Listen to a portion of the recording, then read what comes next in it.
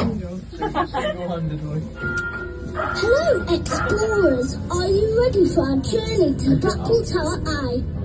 We hope you enjoyed the 4D cinema.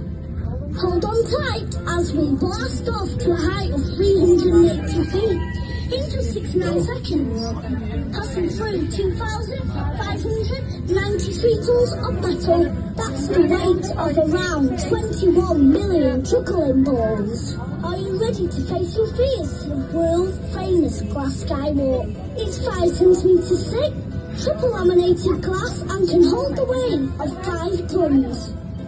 If the sun is shining, explore our outer levels. That will take you to a height of 412 feet. Please take extra care, the steps may be slippy. Please do not use smoky sticks or electrical vapes on any of the levels.